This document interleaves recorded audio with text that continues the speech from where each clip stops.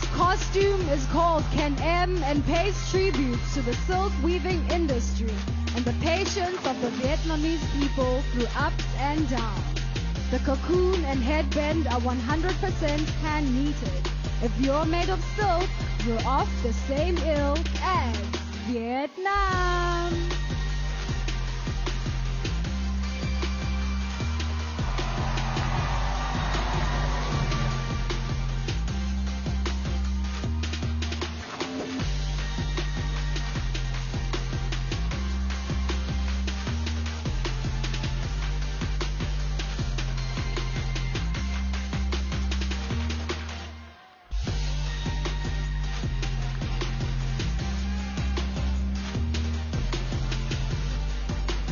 Let's hear it one more time for all of tonight's contestants in their incredible national costume.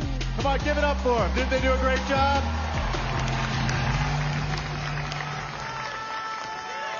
Head to Miss Universe.